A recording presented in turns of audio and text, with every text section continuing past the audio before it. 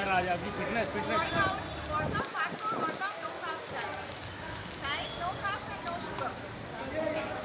तो खाने पीने में क्या खाते हो तो बता